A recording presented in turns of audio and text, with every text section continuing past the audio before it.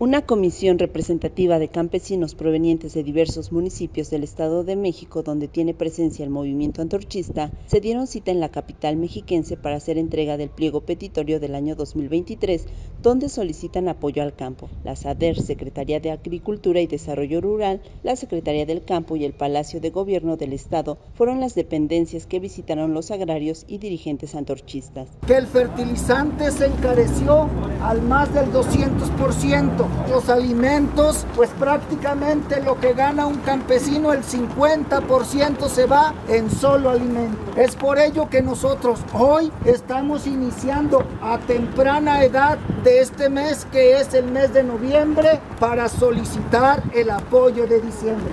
Los líderes sociales mencionaron que en el año 2021 de igual manera ingresaron en tiempo y forma las solicitudes de apoyo, pero los funcionarios públicos del gobierno del Estado de México dieron evasivas para no cumplir con las demandas de los campesinos pobres. Y pues no hubo apoyo para los campesinos organizados en Antorcha. Ya a más de 12 meses se han olvidado de los campesinos, se han olvidado de los productores, se han olvidado de la gente que vive muy apenas en el campo Asimismo, aseguraron que el gobierno federal reduce el presupuesto que debería ser destinado para el beneficio de los mexicanos y también uso de programas sociales que no llegan a quien de verdad lo necesitan y solo son con fines electorales. Es un programa a nivel federal que está utilizando el partido en el poder para afiliar gente, para apoyarla así pero para comprar el voto. Los adheridos a la organización, pese a las limitantes que han tenido y el nulo apoyo al campo por parte del gobierno federal y estatal,